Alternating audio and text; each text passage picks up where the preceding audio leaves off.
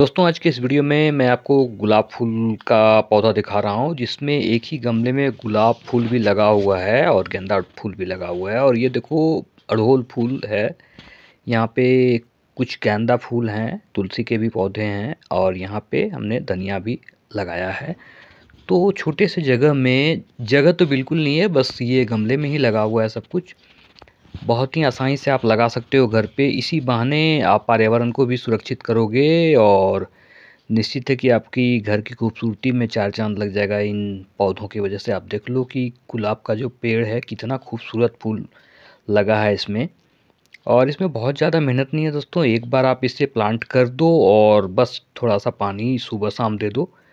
यानी आपको बस एक ही बात याद रखनी है कि इसमें सुबह या शाम किसी भी टाइम आप पानी दे दो, क्योंकि अभी मौसम ठंडे का है, इस मौसम में ज़्यादा गर्मी आती नहीं है, जिसकी वजह से पानी सूखता नहीं है। तो आप अगर एक बार भी दोगे पानी तो भी चलेगा।